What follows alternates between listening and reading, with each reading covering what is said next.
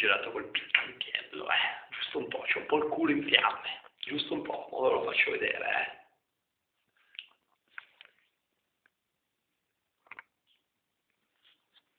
Bello, eh?